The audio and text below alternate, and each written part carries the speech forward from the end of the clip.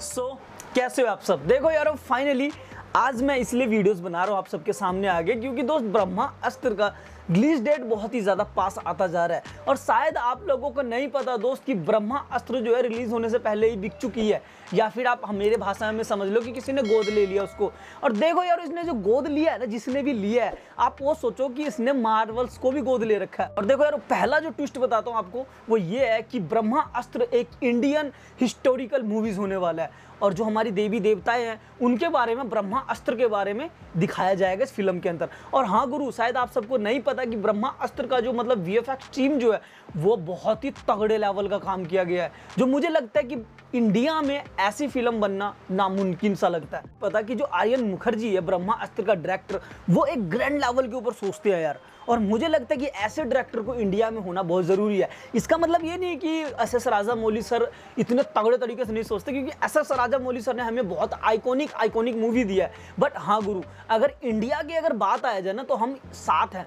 चाहे हमारे बीच में, चाहे जितना मर्ज़ी बॉयकॉट हो रहे हो बट अगर इंडिया का बात है तो हम सारे इकट्ठे हैं। और ये जो है मूवी है दोस्त, यार, पूरे वर्ल्ड वाइड रिलीज़ होएगा। और इसको रिलीज़ करवा रहे दोस्त डिज्नी बोला था ना गैस करो। तो दोस्त, ब्रह्मा अस्त्र को भी डिज्नी ने गोद ले लिया। और मुझे पक्का पता है कि अगर इंडिया के अंदर अगर बाइकआउट बाइकआउट बाइकआउट बाइकआउट हो रही है तो ये मूवी दोस्त, मुझे लगता है कि इंडिया में कम पैसे कमाएगा। बट हाँ अगर ये बाहरली देश में वर्ल्ड वाइड रिलीज़ होएगा ना दोस्तों, हमारा इंडिया का ही नाम ऊँचा जाएगा। कोई भी पूछेगा कहाँ की फ़िल्म है?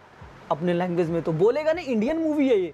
तो हम लोगों को इस मूवी को सपोर्ट करना चाहिए और ये चीज़ें नहीं देखना चाहिए, यार कि रणवीर कपूर क्या कर रहा है? आलिया भट्ट क्या बोल रही है? और ये बात गलत है यार कि उन लोगों को ऐसी चीज़ें नहीं बोलना चाहिए जिससे पब्लिक हॉट हो।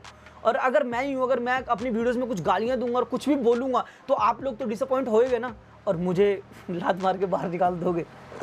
ये तो देखो दोस्त, ये तो हकीकत है। और यही इसी का कारण दोस्त, ये जो बॉलीवुड है, ये दोस्त बहुत ज़्यादा बदनाम है। करण जौहर के करके, ये है।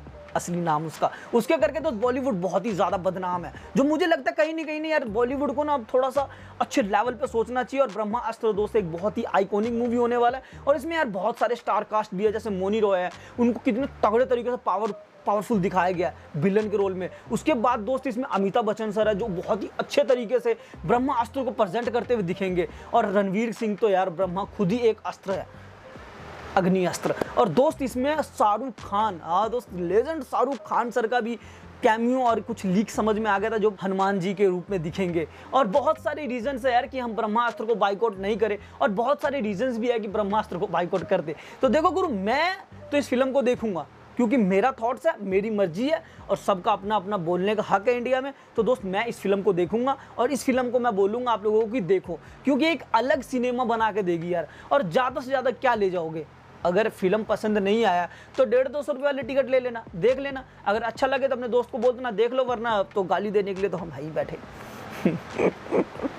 और आप भी हो, क्योंकि दोस्त ट्विटर पे और फ़ोन पे हम किसी की भी, कहीं से भी, किधर से भी कितना भी बजा सकते हैं। और जैसे जैसे ब्रह्मा अस्त्र नज़दीक आ रहा है, वैसे वैसे दोस्त रणवीर कपूर भी अब एक्टिव हो रखा पूरा, और पूरा हाथ पैर जोड़ के लोगों के सामने बोल रहे कि देखो हमारी फ़िल्म को देखो और देखो और देखो। तो गुरु, आप लोगों को क्या लगता है ब्रह्मा अस्त्र के बारे में नीचे कॉमेंट में बोल डालो। और हाँ दोस्त, अगर चैनल पे नए हो तो सब्सक्राइब करके जाना, क्योंकि इससे मुझे हिम्मत मिलता है और जब मुझे हिम्मत मिलता है तब तो मैं वीडियो बनाने के लिए आ जाता हूँ। और तो बस दोस्त, वीडियो देखने के लिए थैंक यू सो मच और मिलते हैं हम नेक्स्ट वीडियो में।